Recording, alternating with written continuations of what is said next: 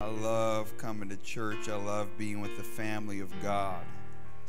Amen. It is a privilege, it is an honor to be here for the very first time in Vidor, Texas. If I'm saying the name of the community correctly, Vidor.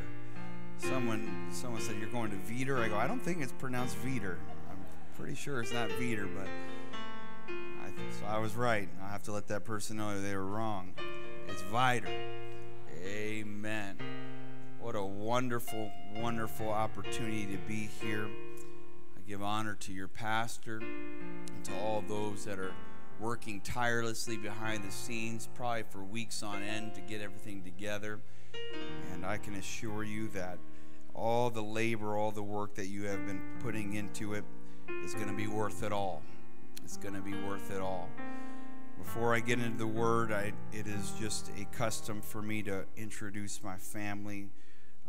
Typically, one of them is with me when I go somewhere if it's more than a day.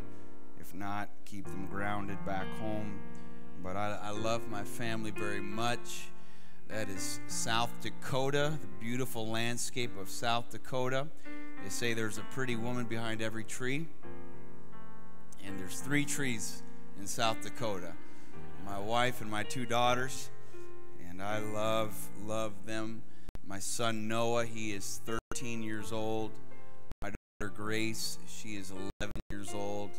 My daughter Eden, she is 8 years old.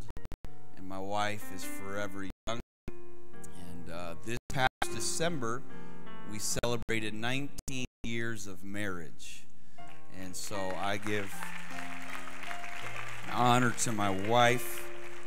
I say this everywhere I go, and it is not vain repetition. It is a sense of accountability for me and to let people know the significance of who it is that you marry.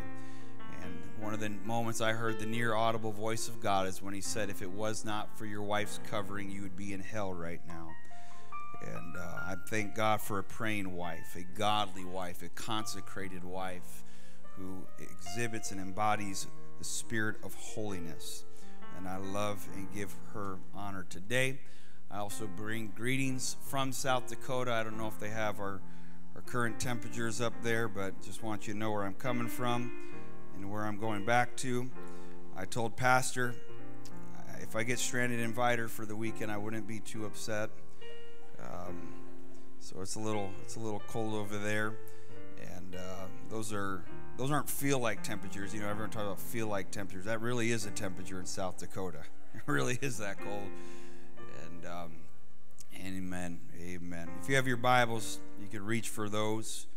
We're going to turn into the Word of the Lord. Give honor to all the missionaries that are here. I wish I could memorize everyone's name easily and say them, but those weren't easy names for me to repeat. But I give honor to all the missionaries, our regional director, uh, Brother Tuttle. And uh, this is just an awesome, awesome moment and opportunity to be with you. I have a special place in my heart for missions conferences. Anytime I'm presented the opportunity to go, I take it seriously.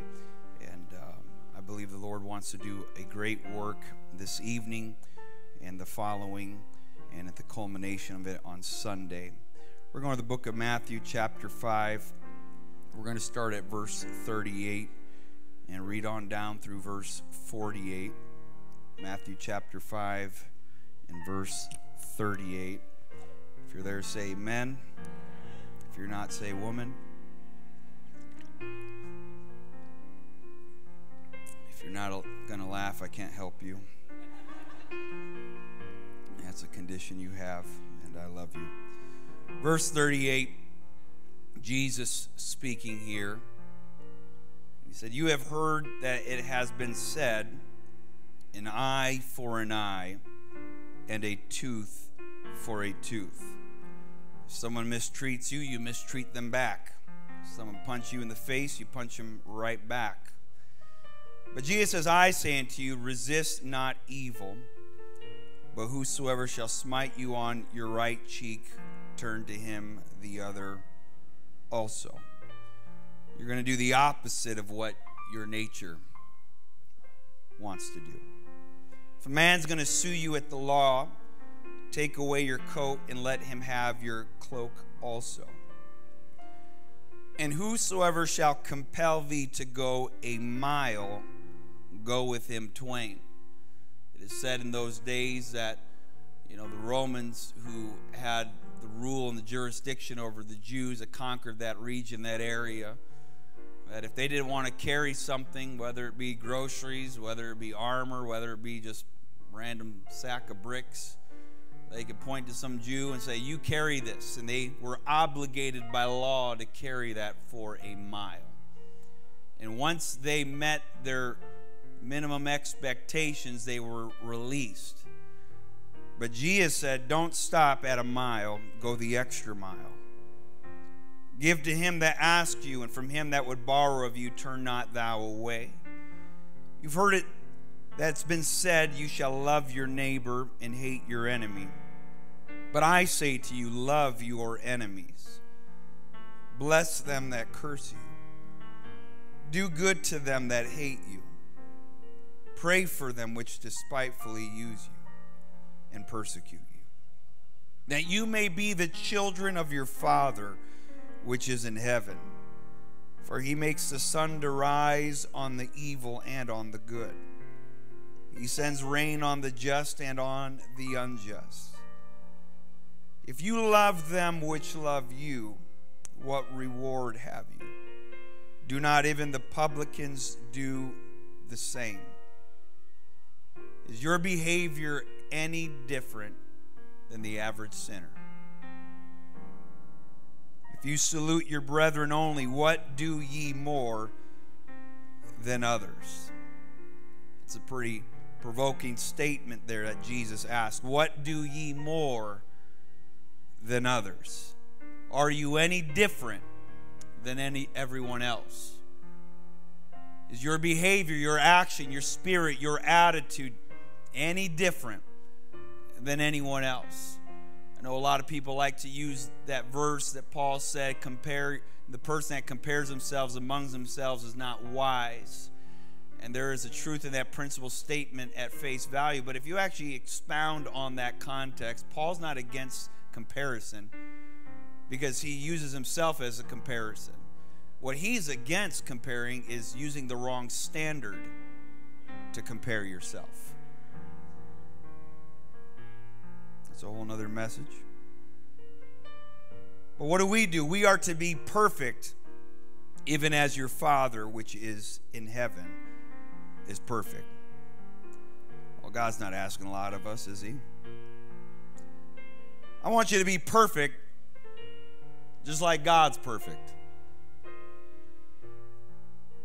You know, some people against the message of holiness, think it's a legalism, too high of expectation. But the only reason why we preach holiness is because the word declares, Be holy, for I, the Lord your God, am holy. For him to require it means we can aspire to it. Other words, we could not do it. And so when God begins to make a decree that things need to be a certain way in our lives, that means God makes a provision for us to rise to the occasion. We serve, I, have been going through homeschool with our children and reading through different literature and books, going through some history on, on Greek mythology. I'm so thankful our God is nothing like Greek mythology. We serve a God who is perfect not deified carnality. We're talking about a perfect God who is merciful, compassionate, slow to anger, quick to forgive. What do ye more than others? And whoever compels you to go a mile, go with him twain. I want to speak just for the next few moments here tonight with the help of the Lord about more than a little more than a little. Would you pray with me that God's will would be done here in the conclusion of this service tonight? God, I thank you for the privilege the honor, the opportunity to be gathered together here in Vidor, Texas, with Eastgate and the family of God. I thank you for the missionaries that are here tonight. I give them honor. I speak the blessing of the Lord upon them. God, as they take a moment, Lord, away from their field of labor, Lord, their labor of love, I pray this would be a weekend of ministry for them. I pray you put virtue back into their spirit, into their mind, into their soul. I pray, God, that you ready our hearts, Jesus. I pray that we would take heed how we hear.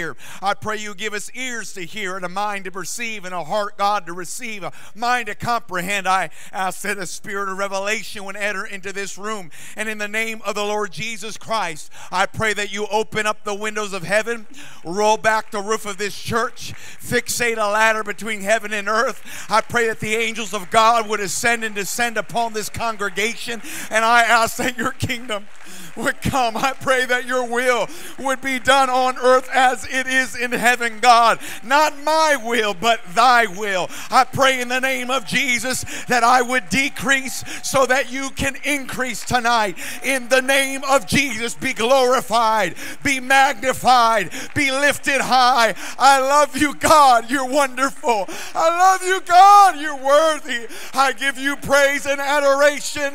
Blessed be the name of the Lord Jesus Christ. Would you clap your hands to the Lord? And would you let your voices be louder than your applause right now?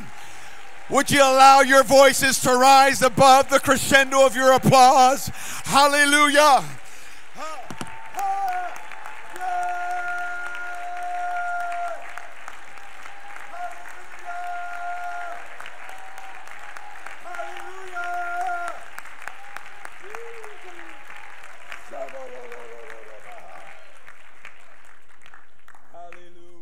Hallelujah. You may be seated in the presence of the Lord more than a little. I'm so thankful to live in this, this dispensation of grace, as some would call. I'm thankful not to be in the Old Testament, and we could speak the rest of this service as to why I am thankful not to be in the Old Testament. One, no dwarf could be a minister, and so I'm thankful to be in the New Testament today. I'm allowed to minister because of God's grace. I thank God that we can eat bacon in the New Testament. I thank God for all of the. I mean, I, I, I wouldn't be able to function in the Old Testament. I'm kind of an animal lover. I don't go hug trees and I don't just eat vegetables. I, I'm, I'm very carnivorous but uh, I just could not be the one to bring a sacrifice and slit its throat. I could not do that. I am thankful to live in this New Testament dispensation because of the blood of the Lamb. But sometimes people mistake that the New Testament means it's easy, cheesy, lemon squeezy. There's really uh, no expectation. You know, you're just kind of free to do whatever you want. We do believe come as you are, but we do not believe stay as you are. We believe that the love of God loves us so much, He doesn't leave us like He found us. We serve a God who transforms us. We don't have to be conformed to this world, we can be transformed by the renewing of our mind. But it's important for us to understand, though we are blessed in this, this season, this window of grace it is, it is a higher level of living, it is a higher level of expectation. In the Old Testament, it was the physical act that was wrong. Jesus comes along in the New Testament, he says, I tell you, it's the visual act that is wrong. He says, You know, as he speaks in Matthew chapter 5, verse 27 through 30, to physically be in sexual relations before a marriage or outside of a marriage, it is sin. This is what Jesus said. And he said, You know, the physical act is wrong, but I want you to know it's more than the physical act. I want you to understand it is the lust of the eye that is sinful and causes someone to commit adultery inside of their heart. We know that murder is wrong, as was declared in the Old Testament. And so you could be mad you could be upset with someone. You could beat the ever loving daylights out of them. But as long as they have a pulse, you're okay.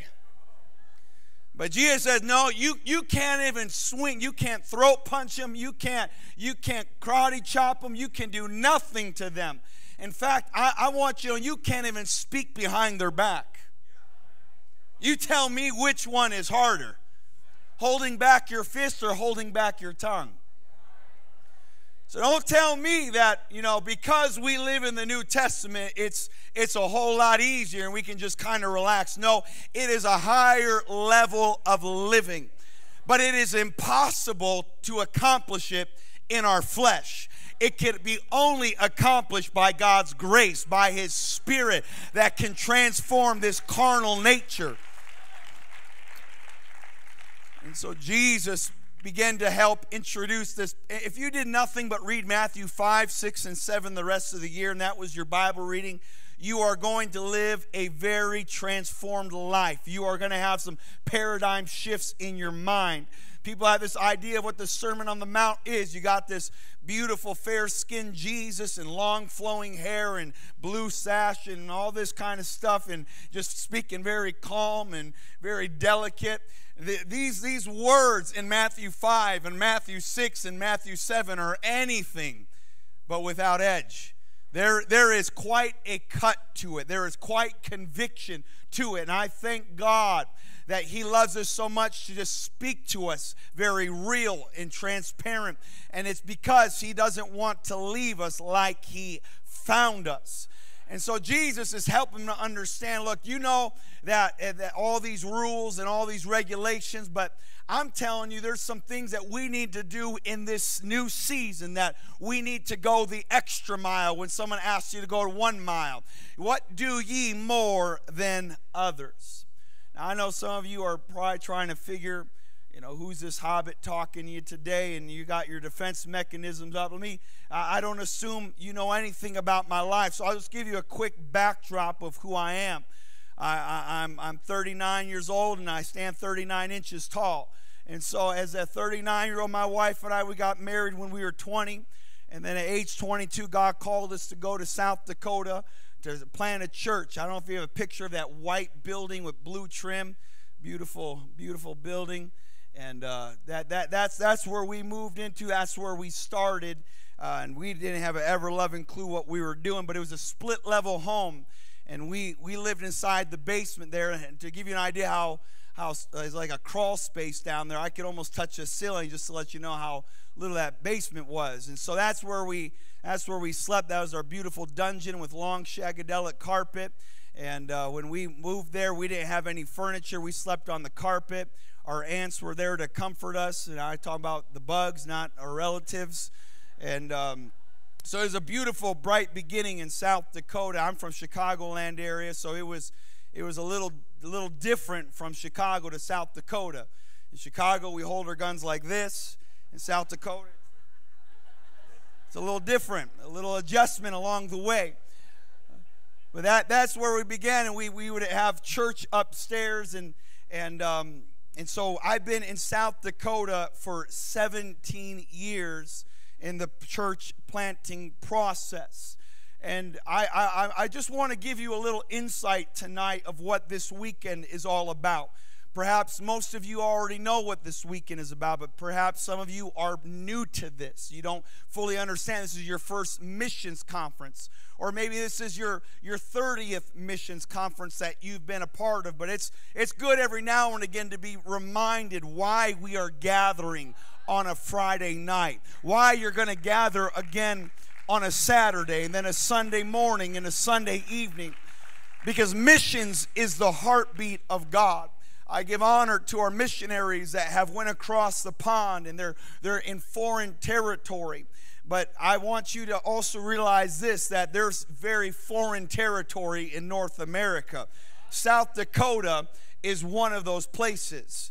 To give you just a little idea and understanding about South Dakota, this may shock some of you uh, 20th generation apostolics of Texas Eh, South Dakota is a non Pentecostal culture. When we went out there, you know, it, there was eight churches, and then another one closed and went down to seven. Then another one closed and went down to six. There were six churches in the entire state. Now, some of you guys probably have six churches on this block. I was I was just into I think De DeQuincy, Louisiana a few weeks ago, and and there's this big old church, and right across the street was another big old church, and the town was like a town of I don't know 2,000 people, and they had like four Pentecostal churches in this town of like a thousand people. It was mind-boggling. Uh, there, there's more people in this room than there is in the state of South Dakota.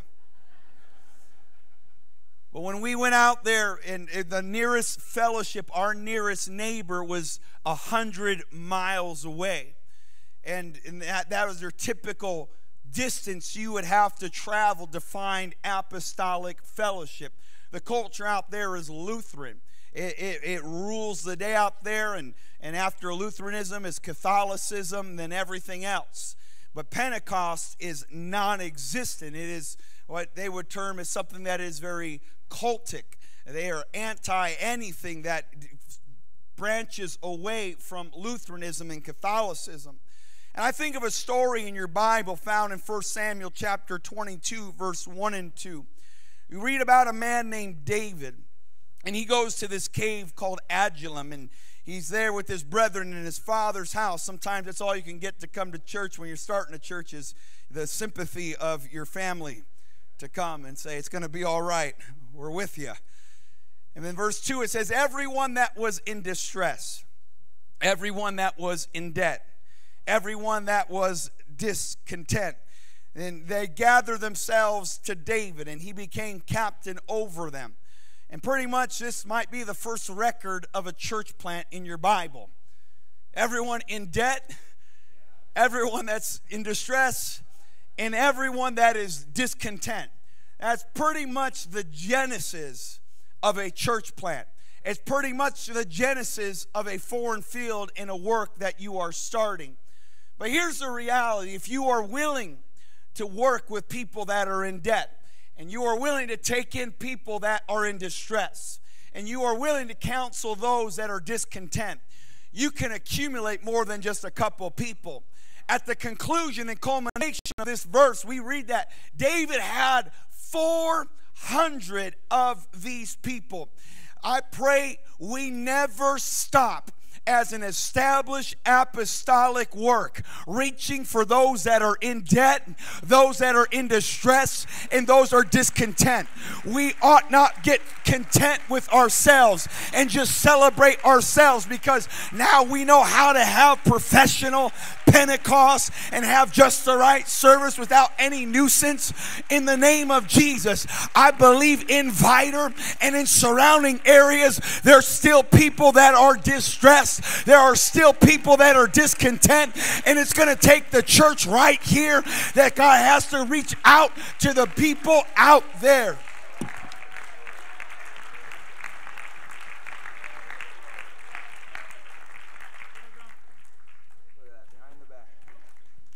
behind the back maneuver there. Someone say amen. amen. David was leading these people. David was their leader. He was their captain. But I have learned this about numbers. Though you can celebrate 400, not all numbers mean the same thing. Not all numbers are equal.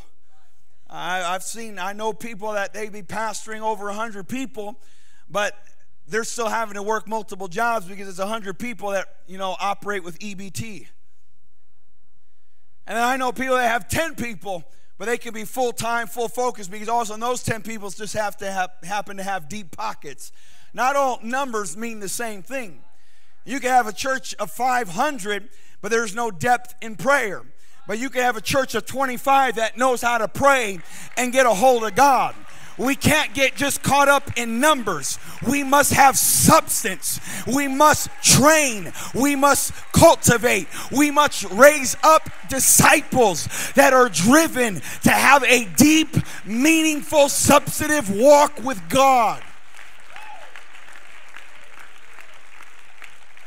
And I'm believing by your leadership. I, I, celebrate the size of this church, but I believe there's depth to this church. It's very apparent walking in here, just being able to pray. Sometimes I really got to strain to feel anything uh, in the presence of God, but I thank God that there's a witness of the Holy Ghost in this place.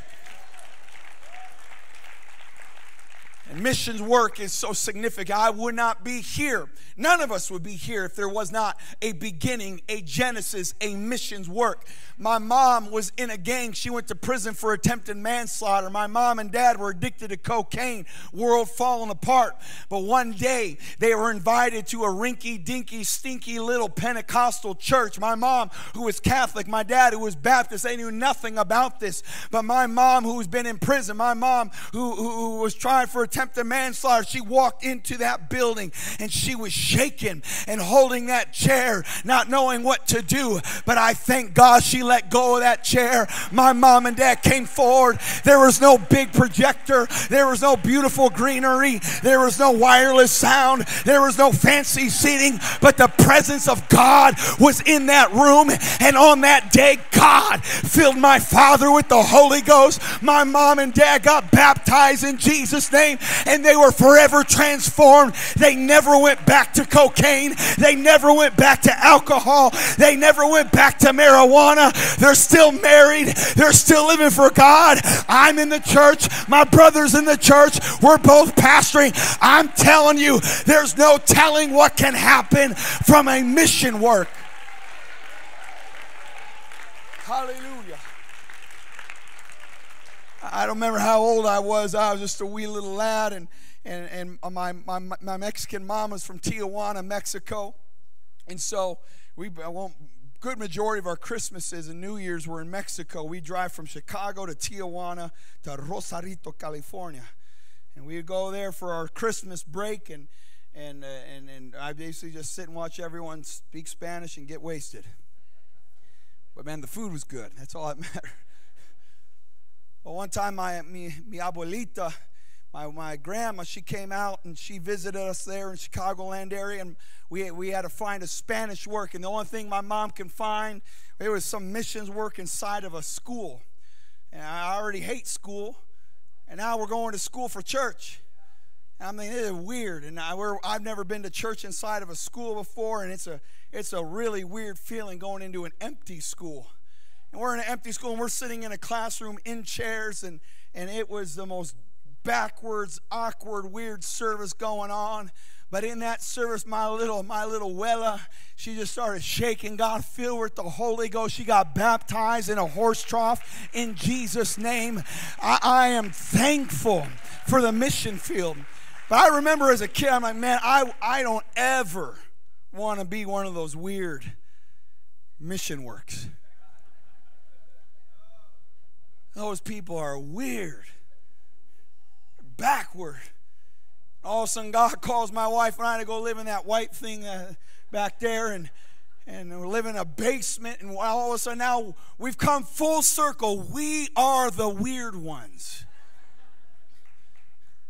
And we there was not a big support group, so we didn't look weird. We just we were weird. And it was awkward if they got that picture again. Like when people come visit, you know, the, those double doors are like these ghetto jank metal doors. I remember the first time we had our first guest speaker. We're having service inside. He was running late and he couldn't get in the building, and we couldn't get out the building because the doors weren't working. But we just kept praying anyways. But it was so awkward because you know that that all, all, the other churches in the community they, they have that, that beautiful cathedral look and feel to it. And you tell people that's a church you're like what in the world? And they're already they're already a little apprehensive to go anyways. And so when they open that door when you'd open those two double white doors you, you'd have to adjust your eyes because you're walking into a darker environment. And when you walk into there and your eyes are adjusting as they're still seeing blotchy pieces of black as you're rubbing them out all of a sudden you hear this or someone yelling,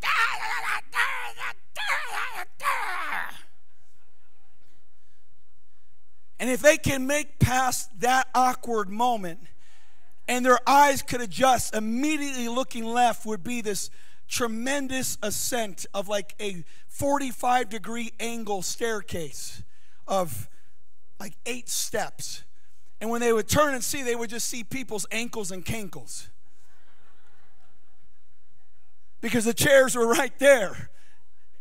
and I, I, I, when I would be preaching or I'd, I'd be leading song service, my guitar and singing, I just fake it to make it because there's no one else to do it. We're doing everything. And, and I, I saw the door open, and, and all of a sudden I'm just waiting for like a head to pop up. But if I didn't see a head pop up, I know what was happening. But sometimes I would get to see the tops of their heads. And then they would look over, and you see their eyes just over the pews.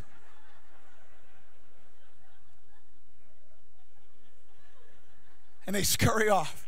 I lost count of how many times people walked out of that building. It was absolutely embarrassing. It was absolutely frustrating. But we had passion, we had zeal, we were determined we're going to break the spirit of that area. We're going to have apostolic revival. We're going to stand at the gates of hell, and they're not going to prevail against the church of the living God.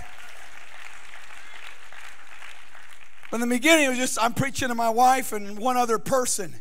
And we had this ghetto jank sound system. I don't even know why we had a sound system, didn't even need one.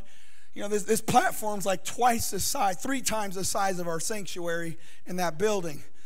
And so I, our, our, pla- our platform, I'm standing there with this ghetto sound system and I'm preaching, and it sounded just like a kazoo.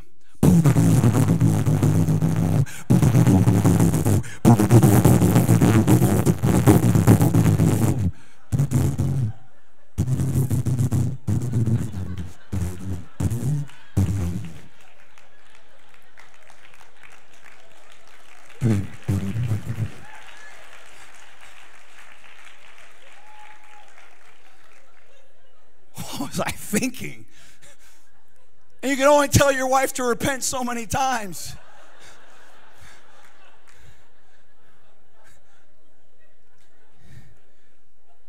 Get frustrating after a while. I'm sure David was encouraged, some people coming in. Now he's got a gathering of people doing what he can, but he's still, he's not fulfilling what he felt God told him to do to be the king, to be on the throne to be leading the people of God, to have a revival in the nation of God. And now we read David just a chapter later, 2 Samuel 23 14. David's in a hold. The garrison and the Philistines was there in Bethlehem, and David begins to long. He begins to reminisce, he begins to think about how things used to be before he is in the predicament he is currently in because he wasn't always on the run. He wasn't always a fugitive. He wasn't always hiding. He wasn't always surrounded by discontent people. He wasn't surrounded by distressed people. Sometimes just being around your pets is a lot easier.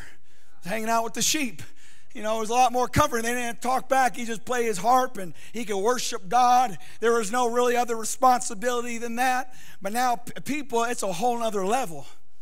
It's a whole other level of management.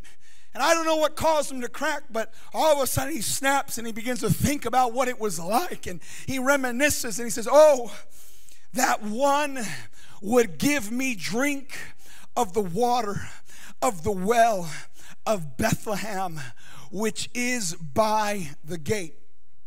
I, I have, I have a colorful imagination. Anytime I'm reading the Bible, I, I kind of just immerse myself in the scriptures to get a better grasp or understanding of what's going on. And I just kind of think about being in that scene, in that cave with David and 400 men. And all of a sudden, these 400 men, these are some bad mamma jammas. These, they, they, they, they kill people. They, they, they, they take over areas. They're always fighting. They're always warring. They're always raging. They're always out doing that. And now they're in their cave, and here's their fearless leader, and they can hear him say, I want some water. I'm thirsty. Can you imagine? This, this, is, this is supposed to be your general, the captain of your salvation. And you, you, you, you left everything you know, and here you are with all these men, and you're trying to do his bidding. Now you hear him saying, I'm thirsty. Now, not only am I thirsty, but I, I want the water at Bethlehem. And not just any water at Bethlehem. I want the one by the gate. It's like oh, people with highfalutin water. Oh, when I was your age, we drank from the water hose at the side of a house. I grew up that way. we had this weird thing called actual reality. We were outdoors doing our hood rat thing, running around, and we just walk up next to a house, open the spigot. There, there was no water like galvanized, corroded rubber, rust, water going. That's why I'm still standing. I built up immunity.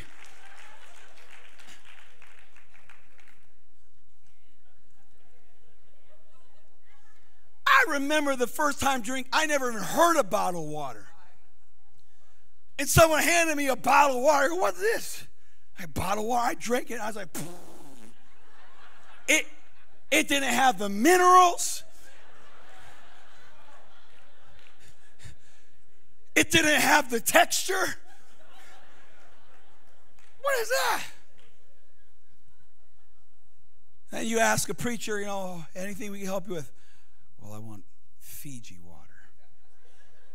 Oh, the preacher wants some Fiji water.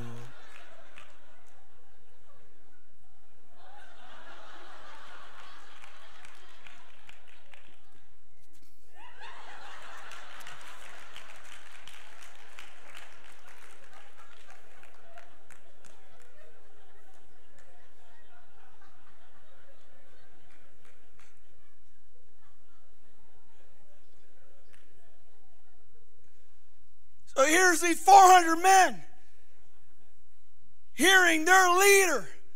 I, I want some water from Bethlehem, from Buc-ee's, on the east side of Buc-ee's, the one on the top shelf, pronounced Voss. That's the one. You know how irritated you can be being one of those men that wield a sword and fight enemies, stare people in the eye, cut their throat, throw them down, take their. And that's your leader. You got to be very careful that you do not get a critical spirit when your leader begins to voice vision, passion, or desire. Take heed how you hear.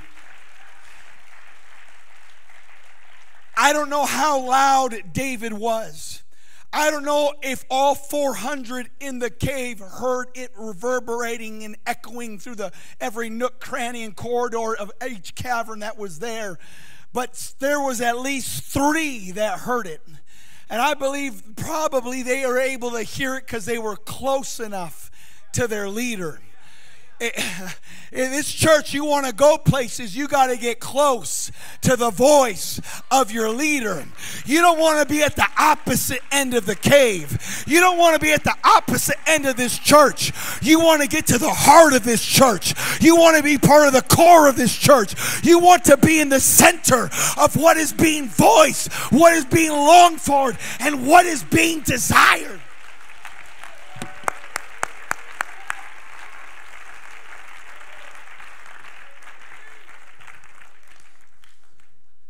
Huh?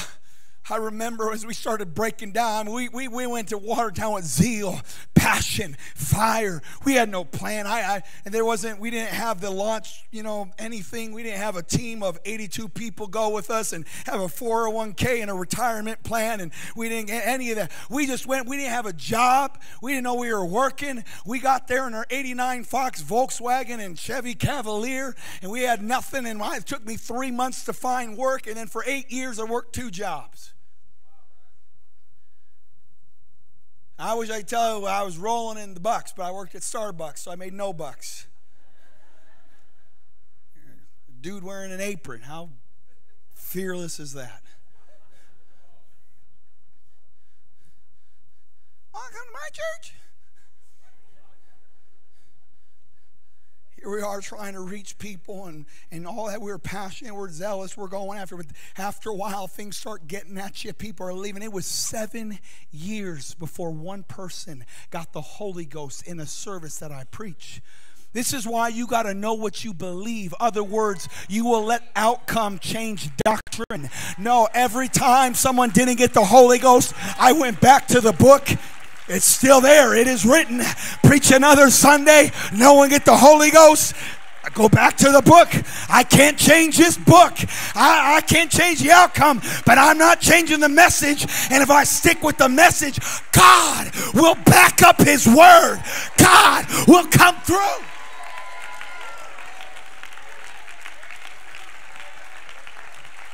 I, I didn't feel the fire and the zeal and the passion for seven years of depression. I had mental breakdown. I, I go through some god awful stories. I, I literally have, have fell down in front of my wife after having someone chew us out and yell at us and begin to scream that this church will never grow because of what we teach and what we preach. And I'm laying there on the floor in front of my wife, shaking, having spittle come out of my mouth. And all I can say is, God, I'm trying. God, I'm trying. God, I'm trying. You may have heard me say this at some point, maybe somewhere, but I, I, tell people the hardest Bible study I ever taught in my life was when it wasn't on holiness, it wasn't on the oneness, it wasn't on new birth. It was simply uh, teaching my wife and I a Bible study so we didn't feel bad about using some funds from the church to get something to eat because we had no food. It was, it was the kind of poor where you eat cereal with the fork just to save milk kind of poor. I remember sitting, not being able to make ends meet, sitting in my car. I drove up to social services and I'm looking at social services and I'm, I'm contemplating going in because I can't even I can't even make enough to provide for family. The whole time I'm sitting in my car, I could I could hear the voice of my father saying, Don't you ever walk through the doors of that building with an able body. I'm not coming against anyone that's ever walked through the doors of social service. I'm just giving you a backdrop to my upbringing. And that's going through my mind. And I have an able body and I'm working two jobs. I'm still not making it. And I had to humble myself and walk through those doors and fill out that paperwork. I'm not here giving you some theory. I'm telling you some experience of what it is that you are a part of and what you are helping to accomplish across North America and overseas. Because that entire time, those people thought I was crazy. Every Sunday I'm trying to preach. I, it was a struggle for me to peel myself off that bed. I would lay there on Saturday night, and the entire time in a pitch black room with no windows, I I would stare at this ceiling because above it, that ceiling is about where I would stand to preach. And the last thought on my mind before I went out into sleep was, I don't want to wake up. I don't want tomorrow to come. And then when I would wake up and I saw that ceiling, the first thought on my mind is, I can't wait for this day to be over. And once that day was over, I immediately went down those stairs, back into that bed, put those sheets over and just went into a cycle of depression. It's a real thing.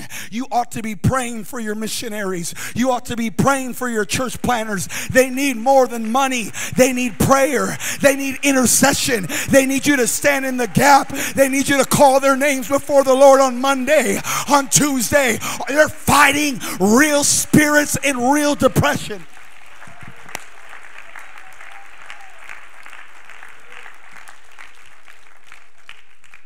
Uh, and I would try to preach. I'd faith it all I could. And I, I, remember just longing, man, I would like to be back home. I grew up in a church in the south side of Chicagoland area, a place called Harvey, Illinois. Terry Cox was preaching, and there we were in the ghetto and he was a powerful preacher and there was powerful demonstrations of the holy ghost and you could feel the shekinah glory of god sunday after sunday after sunday. Going to ibc for four years pastor paul mooney's in his prime. You got a, a 200 voice choir. You're going to church seven times a week. Every week you're surrounded with people your age around 250 of them that are all wanting to take over the world for jesus. It's a pretty electric atmosphere to be a part of every day for four years years, but then you remove yourself from that atmosphere and you're dropped into another zone, another realm that doesn't have breakthrough, that doesn't have deliverance, that doesn't have freedom, that doesn't. I, I couldn't ride the coattails of someone else's consecration. I couldn't lean on someone else's praise and worship. I had to create the atmosphere. I had to create the prayer closet. I had to Come on, don't just be a thermometer in the house of God. Be a thermostat that changes the temperature in this room. Don't rely on someone else to shout. Don't rely on someone else to dance. You can dance, you can shout, you can create atmosphere.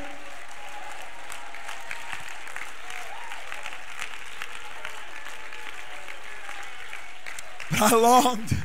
I long the time, multiple times I tried to quit, multiple times I tried to walk away because I longed for the water at the wells of Bethlehem.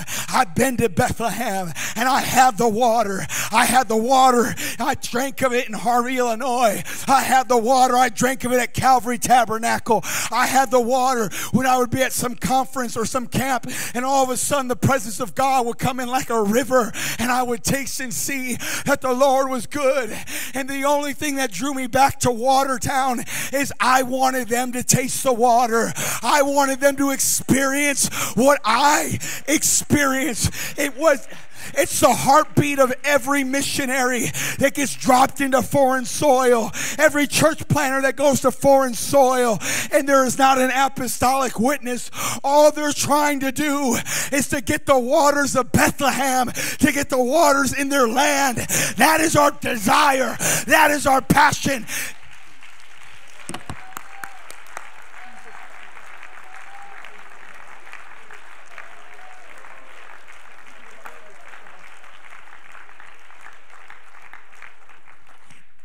Thank God that there were three men that were in debt, three men that were in distress, three men that were discontent, and they finally heard the spirit of their leader.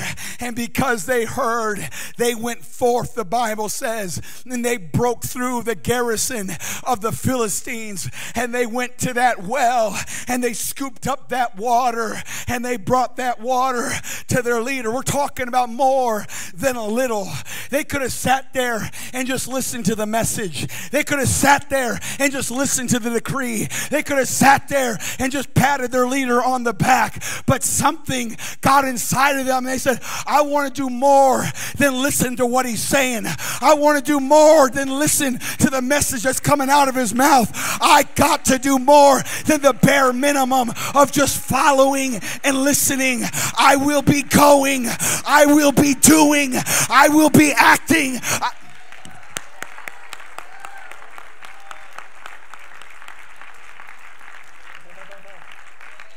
Would you lift your hands? Would you lift your voice right now? Would you lift up your voices right now, church? Come on, Eastgate, lift up your voice. Lift up your voice. Lift up your voice.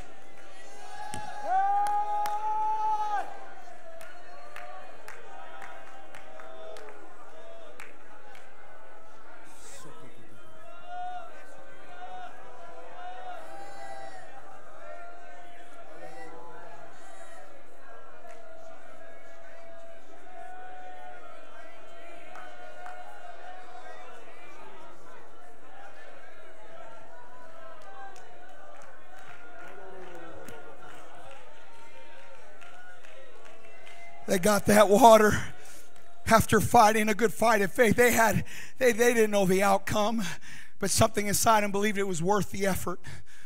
And they did it and they fought for it and they brought it back to their leader and they hand that vessel to their leader and David sees that water and I, I, believe he was surprised. He was shocked. He was caught off guard, never realizing that some of those men actually got to that place of spiritual maturity where they were listening to his voice and they were listening to his heart. They didn't mock him, they didn't insult him, they didn't question him. They simply went out and they began to fight to get what he needed and what he desired. And when he got it, he looked at them and he looked at that water and he did something so crazy. He got that and he just, the Bible says he poured it out before them as an offering, a drink offering to the Lord. And people could say, you know, come up with all different theories and ideas of why and all that kind of thing, but he really he displayed something so powerful to them because some people can misun- misunderstand a missions weekend where we're talking about money and you think it's all about money and it's somehow some way we could we could funnel that money into our own uh, desires as a pastor our desires as a minister. And and when they brought what he voiced to them he displayed to them this is not about me. He poured right back into the land. And that's what this is all about this weekend This is not about some whatever number ends up going there that you're going to read off next year. That number represents a drink offering that's going to go into a land. We don't drink this because this is the blood, sweat, and tears of men. This is your life. This represents your time. This represents your emotion. This represents your sacrifice. We're not here to drink your blood, sweat, and tears. Your blood, sweat, and tears. We are prayerfully considering what land can I pour that in? Where can I invest it so we can have breakthrough? So the Philistines no longer have a garrison or a stronghold that prevents people from drinking from the well of Bethlehem. I believe that when we begin to pour out before the Lord for the land, we are going to access the waters of Bethlehem. We are going to access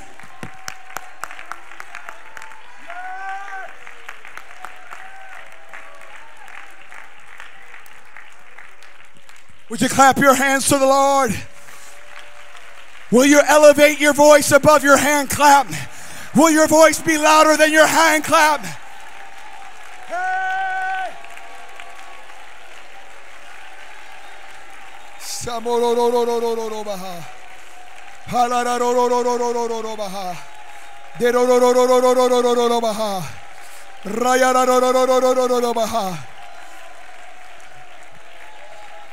Woo! The Bible says that these men, these three men that were in debt, in distress, and discontent, they are no longer identified as such. Right after that, it declares them as the three mighty men of David. When we begin to align with the voice and the desires of our leadership in spiritual covering, God can transform your identity. You no longer have to live in a poverty spirit, a poverty mentality, a victim mentality. God can transform you into into a victor. God can transform you in more than a conqueror. You can start walking different. You can start praying different.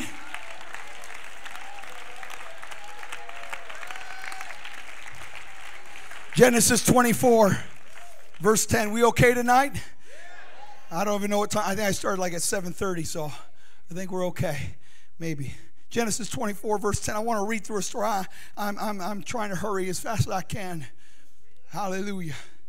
I know you're tired, but I got up at 2:45 to get here. And it was a rough day. The Bible says in this context of scripture you have Abraham who's about to die. He wants to make sure his son Isaac is married correctly. And the Bible says that Abraham gets his servant and says, I need you to, to get a wife for my son. So finally, the servant goes. In verse 10, he takes 10 camels, the camels of his master. And all of a sudden, he begins to make this journey, this travel. And he goes by a well in verse 11 at the time in which women would come out to draw water. Verse 12, we read, we read this prayer that he begins to pray, O Lord God of my master Abraham, I pray, send me good speed this day. It's a good prayer to pray. God, I need a good day. I could use a good day today. I'm standing by the well of the water. The daughters of the men of the city are about to come out here, God. Verse 13, verse 14. And let it come to pass, the, the damsel that I say, that I speak to, let down your pitcher that I may drink. Let that woman, that damsel, that woman, when she when she says drink, and I will give your camels drink also. Let that be the signal that she's the one that you have appointed to be the wife of Isaac. Verse 15 It came to pass before he had done speaking that behold, Rebekah came out. That doesn't always happen that way. But it's pretty cool moments when you're praying and God answers before you even say, In Jesus' name. Amen. This happens right here. Before he finishes his prayer, Rebecca comes out. And all of a sudden, she's got that picture on her shoulder. Verse 16, she's beautiful, very fair to look upon. She's pure. And, and all of a sudden, the Bible says that the servant goes to meet her in verse 17. And he says this to her Let me, I pray thee, drink a little water of your pitcher. Notice he didn't ask for much. He just said, I, Can I have a little? Makes no, we know what he prayed, but he does not mention to her anything about the camels needing something to drink. All he asked Rebecca is, Can you give me a little water. And she said, Drink, my Lord. And she hasted. She didn't contemplate, she didn't wait, she just did it. And she puts her pitcher down that well upon her hand and gets that water and comes to him and gives him drink. In verse 19, after she had done giving him drink, she says to him, I will draw water for your camels also until they have done drinking. She did more than a little. She went beyond minimum expectations. She declared, Not only will I give you a little to drink, I'll give your camels to drink, but I'll, I'll keep giving them drink until they're finishing their drink, until they quench their thirst. That may not seem like much until you just read a little bit about camels, and I'm not a camelologist. But just from the little I read about camels, depending on the age, depending on the type, a camel can drink anywhere in one setting from 20 gallons of water to 50 gallons of water in under 10 minutes.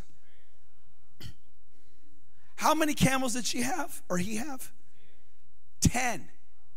So let's just say they're 10 baby hobbit camels. And they only can get 20 gallons in them. What's 20 times 10 homeschoolers? Well, not homeschoolers, a real school. No, I'm just kidding. I'm just, my kids are homeschooled. They can't read or write either. So, what's 20 times 10? 200 gallons. There wasn't a spigot to turn on. It was a heavy pitcher that carried whatever amount depending on what how strong of a woman she was. But let's just say there's five gallons in there. I struggle bringing two gallons of milk in one hand from the garage to my wife from Walmart. 200 gallons. We don't know the distance to that well, but let's just say it's right there. But every time she had to let that pitcher down, pull that up, and how just say she got five gallons each time. That is a lot of drawing a pitcher down a well, pulling up, and then pouring into a trough and waiting until all 10 camels meet their thirst. It's quenched, all taken care of. I would venture to say it was probably more than 200 gallons, but even at that, that is what she opened herself to. She simply could have said, Look, it's late. I got to get home. I don't know you. You're a stranger. I don't know what land you're from. You're a foreigner. I don't know you. I'm just going to take care of me and mine. But all of a sudden, she met his need and she met the need of all those camels. She went above and beyond minimum expectations. We live in a society that does a minimum ex what how low of a grade can I get till I pass this course? How many little of hours can I work so I have this job? What's the least I can do to get a promotion? What's the least I can do to be a member of this church? What's the minimum requirement for me to get to heaven? Come on, apostolic. We cannot live lowering the bar, saying, well, it's just a day of grace. I'm going to relax. No, the need is great. The hour is dire, and there is a thirst that needs to be quit.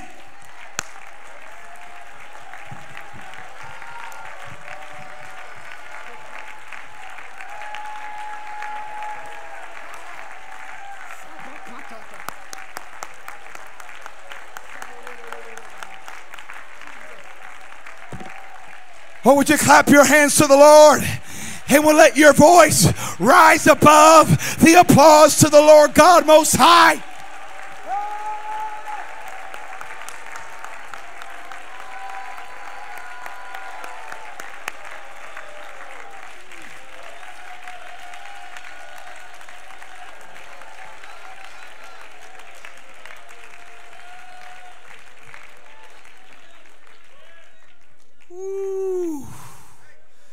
Samarake.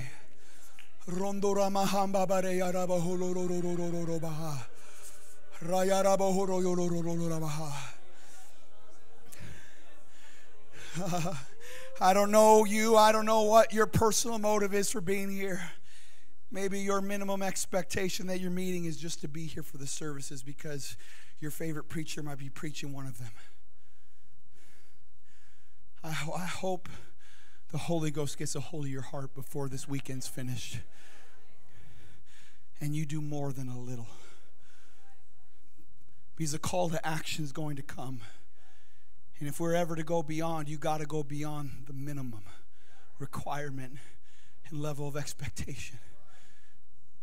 And she so gracefully met his need and the need of 10 camels without an ever loving clue of what he prayed and what he was going to do. And all of a sudden, he pulls out the treasures.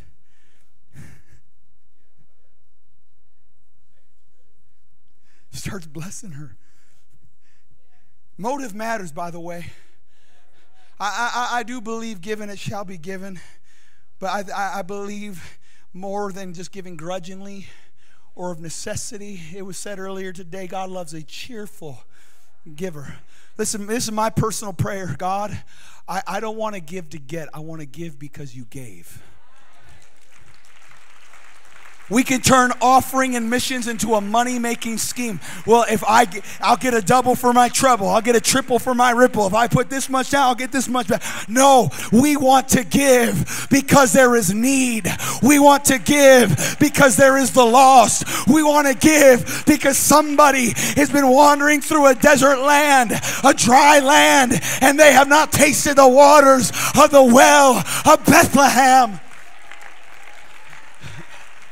Not only does she get treasure, the Bible says the proposal is made to her to be married to Isaac. Little did she know that that act of going beyond little, doing more than a little, more than minimum expectation, she was blessed financially and she was blessed with posterity and she would be the instrument God used to birth the nation of Israel. Without There is no Israel because of a woman meeting the need of a person in a foreign land that she never met before. All of a sudden, she births the promise. She birthed, ah, ah, there's no telling what can happen today and tomorrow and the next day. If you give yourself to this mission conference, God can use you to birth a nation that does not have an apostolic witness. I believe every nation is going to have an apostolic witness. Every nation.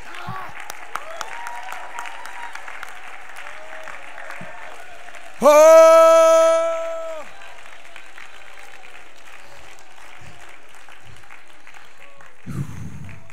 Two verses, I'm done.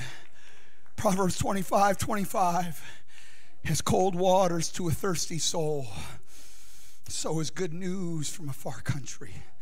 What you're doing this weekend is you're going to bring cold waters to a thirsty soul. People ask all sorts of questions how we had breakthrough and how we had revival. Man, it was it was 15 years before we we, hit the the hundred barrier, and uh, it was and the promise God gave me was tarry in Watertown till Pentecost, and it was on the day of Pentecost at 15 years that we finally cracked. I'm not saying like hundreds a magic number, but it just definitely does something for the mind.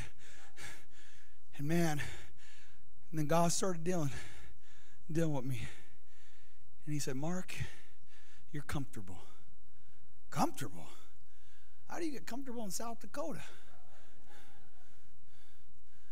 And he used my friend Chris Green in the service he's preaching. And he shared this story about preaching at or not preaching. He was just he was at this uh, tent revival during the riots in in Portland, Oregon, and, and, and this charismatic this this ministry group that didn't have the full truth is having a tent revival outdoors, and people are getting the Holy Ghost, and God protected that tent revival from the rioters that are trying to encroach on His wild. And he said the Lord spoke to him and said, "They're doing more with less, and you are doing less with more."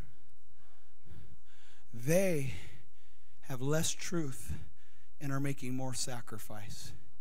And you have more truth and you are making less sacrifice. And man, it was like a spear, a harpoon from heaven hit me and smote me to the ground. And I, I try to have that attitude like Rebecca and make haste. The Bible says she ran. She ran back and forth. I guess you would. I give 200 gallons of water to the camels. But she made haste. Another friend of mine made this point. He says, at some point, delayed obedience becomes rebellion. So I turned to the associate pastor, said, See ya, it's yours. And we started all over again. And currently, in the past year and a half, we've planted three churches. I'm pastoring three church plants. In other words, I hang out with you this weekend, but I got work back in the land. In just the past couple years, we went from being six works to 14 works in South Dakota. Now, I'm not bragging. I'm not, don't misunderstand me. How there's 66 counties in our state that do not have apostolic truth. And my prayer is before I die or before Jesus comes back, I just want there to be a light on in every county. I want to reduce the distance it takes for people to find truth. And that's, I give honor to our missionaries, church planners, mission works that might be represented in this room. We got to get reminded every year of what we're doing here and why you're doing it. I don't want to do little, I want to sacrifice.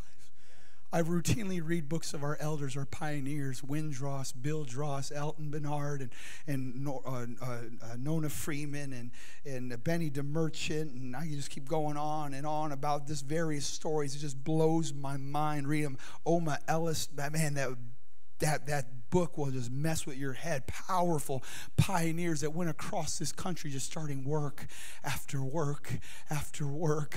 We're, I listened to stories of Bobby Wendell. Oh my goodness, what they did there in Africa, it just blew my mind. And, and I'm just realizing I have yet to even touch the tip of sacrifice. And so tonight, we're not doing the offer. I believe it's Sunday, but what I want us to do is if you got the heartbeat of saying, God, I want to do more than a little.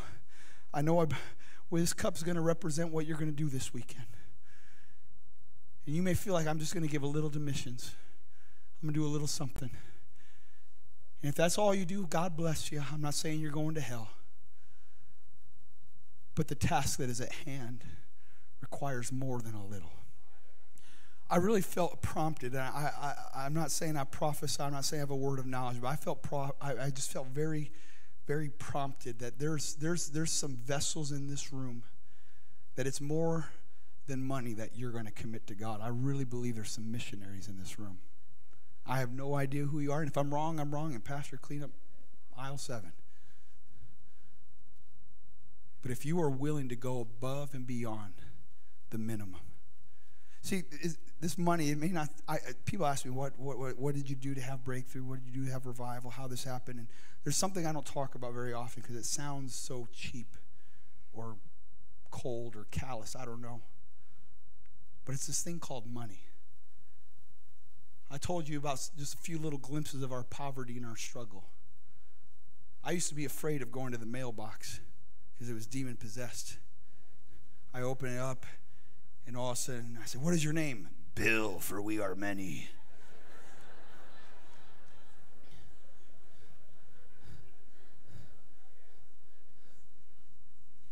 But something changed. All of a sudden, there was other things that came in that mailbox. There would be checks with letters from people I've never even met before. we'd be praying, asking God for help, and all of a sudden there'd be another check. And I, I used to get excited. My wife and I would say, "You get to the mailbox first? And all of a sudden there'd be a miracle offering, a miracle finance. And it wasn't celebrating money. It did provide the need, it did help. But really, we would fall to that floor and we would just thank God because the Bible says where your treasure is, there your heart is also. Because what you're putting when you send out to missions, that missionary understands that is your heart saying, I believe in you.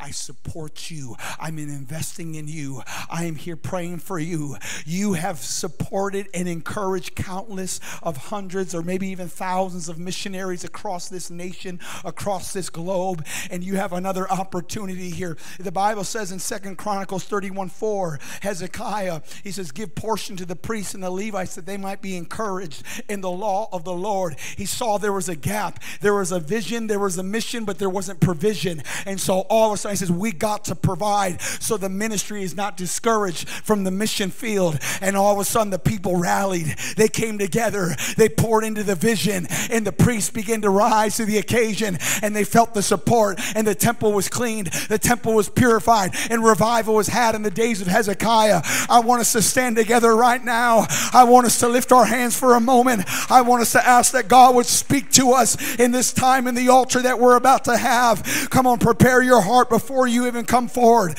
We're going to have an altar call here in a second, but I want you to get ready. I want you to prepare your mind, prepare your spirit in the name of Jesus. In the name of Jesus, I pray you confirm your word tonight, God. I pray you confirm your word tonight, God. I pray you confirm your word tonight, God.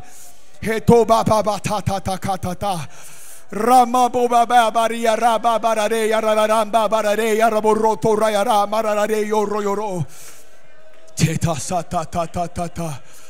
Ala la la la baha. Ah la bo lo ro if you feel compelled to do more than a little, I want you to come and grab a cup. Make room. Make room. Come on, I want you to come and grab a cup and you get as close to the altar. You find something in a moment. We're going to pray together, lifting that up as a sign, as an offering of God put into our hearts what we're going to put into this cup that we're going to pour into a land by this coming Sunday when uh, Brother Carpenter preaches and when the faith promise goes forth, God. I pray that we bring more than a little. I pray there's great faith in this house. I pray that cups would run over. And in the name of Jesus, nations of promise will be birthed in Jesus' name. Come on, gather quick. Grab a cup as fast as you can. Maybe pass the stacks around. Give people an opportunity. I hope everybody will participate, but I'm not going to force you because your motive, your spirit matters. We're not here to twist your arm. We're here to let you know of a precious opportunity that you can be a part of in the name of Jesus. Come on, pass it around.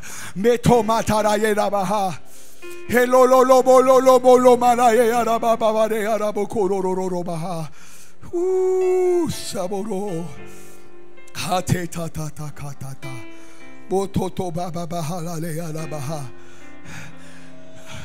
You got a picture of that white building again? And we were we were we were rotten inside of that place. But God, finally, we begin to turn a corner. We begin to have some growth and some breakthrough and revival. And all of a sudden, we, God put something on my heart one service. We were in, it was in January. We were in the midst of a blizzard and we were still having church. You should have saw what I drove in to get here.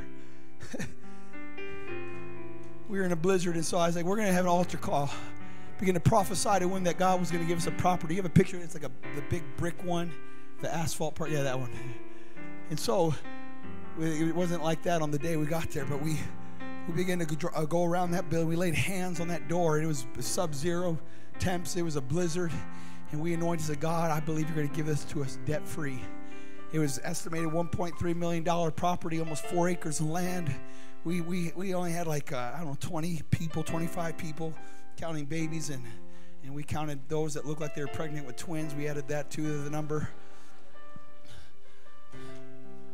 Attendance begins at conception in home missions. But we begin to declare in Jesus' name. And all of us, I, I, I, I draw out the details, but I don't have time. I preached long enough. But long story short, we made an offer on that building, and we didn't have the money. But in three weeks' time, the cups started coming in. We didn't take a loan, but 250,000 cold glasses of water came in. And on the day of closing, we set a closing date and we didn't have the money. We did it by faith. And on that day, after all the cups came in, after all the cold, refreshing water, we got that building debt free walked into it, and that's where we begin to have revival and growth and breakthrough. And now the Jesus Church, Pastor Jared's leading that congregation in a powerful way, and we're out just doing the same thing. We just started in another town. You got a picture of another church? That one was just given to us. No, no cold cups of water or nothing. Before we met one person, before we had one Bible study, Historical Society just gave us that building because we decided, you know what, we want to reach beyond the borders. We want to go to regions beyond reach. But that miracle never would have happened if we just didn't step out. That miracle happened because we stepped out by faith. And out there, that thing was like a bat cave. There's a whole lot of problems in there. But all of a sudden, guess what? More cups of water started coming in. And that's what we're going to do. We're going to pray, God, what is it that you want me to put in this cup this weekend? And I want to go above little, I want to go beyond minimum expectations. Would you lift your hand and lift that cup before the Lord? And I want you to begin to pray. I want you to lift your voice. I'm not going to push you in this altar call. I'm going to step away from this platform in just a moment. But I want you to pray. I don't know if it's going to be five minutes. I don't know if it's going to be 15 minutes or 15 minutes, whatever it is. I want you to begin to pray right now that this would be a different weekend for y'all. Some of you, this is your favorite weekend every year. Some of you, it's just been a tradition. But God is trying to bring you back to a place to remind you of what this is all about. There is a couple right now that is depressed. There are some people that are barely making ends meet. There are some missionaries, they simply just need some help right now. And God is strategically appointed this weekend and this congregation to be ready to bless a multitude, to bless a new land, a new nation.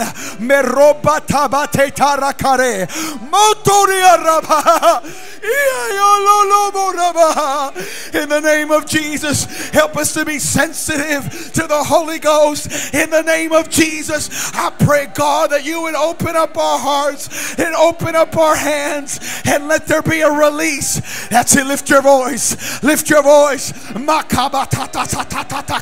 Hey. That's it. Pray, pray, pray.